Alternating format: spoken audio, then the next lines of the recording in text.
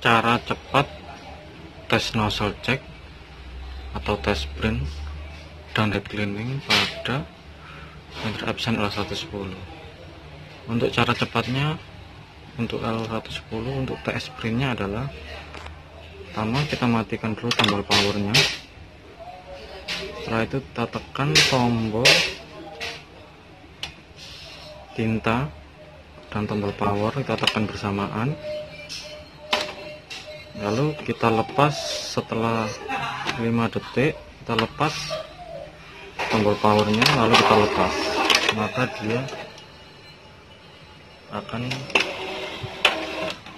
self printing atau test print tanpa melalui komputer atau laptop.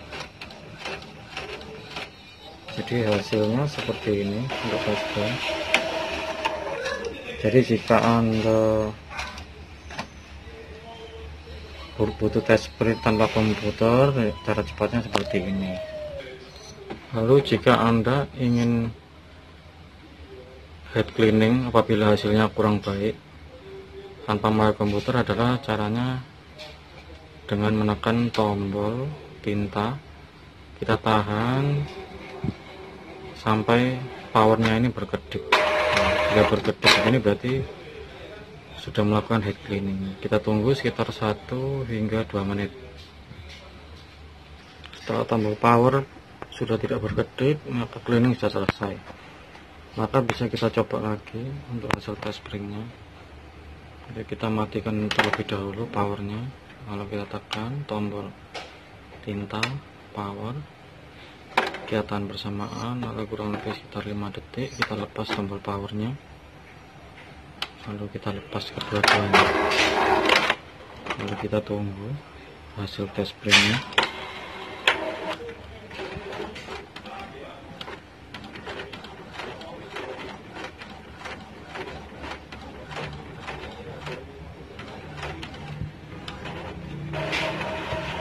jika hasil sudah bagus dan tidak bergaris maka kita tidak perlu head cleaning lagi karena head cleaning itu hanya akan membuang tinta. Jadi sebaiknya jangan sering-sering dilakukan. Cara ini bisa dilakukan untuk printer semua L series. Di L110 atau L1110 L3110 L3150 dan sebagainya. Kalau kemudian cara untuk bongkar casing. Caranya untuk s pun ada cukup mudah. Hanya tinggal membuka cover bagian depan. Lalu kita buka baut ada dua satu. Satu dua. Kita buka bautnya keduanya.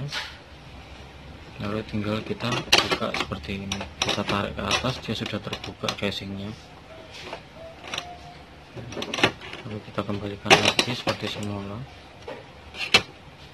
Jadi demikian cara untuk self printing jadi jangan lupa untuk subscribe like dan share. Dan jangan lupa untuk klik lonceng supaya anda dapat mendapatkan pemberitahuan yang terlebih dahulu apabila ada video-video terbaru dari kami. Terima kasih